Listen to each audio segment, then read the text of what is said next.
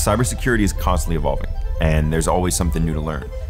You have to have a lifelong learning mindset to work in this field. For someone like me, who thrives where I can learn every day, Rockwell is a perfect fit.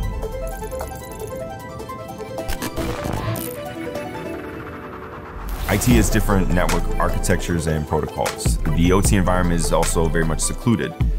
In OT environments, they are always in production. You can't stop production of a functioning plant, it would, it would cost billions. So we do a lot of testing in the pre-production environment. This company uses some of the latest and most innovative technologies to do all aspects of our work. I studied IT in college, and that was where I started my career. While I was working for a consulting firm visiting manufacturing plants around the country, I started learning OT cybersecurity. And that's actually how I became familiar with Rockwell. And I discovered it's a very well known company in the engineering and industrial automation worlds. When I learned about the position at Rockwell, I was excited to think about joining a world class industrial automation company.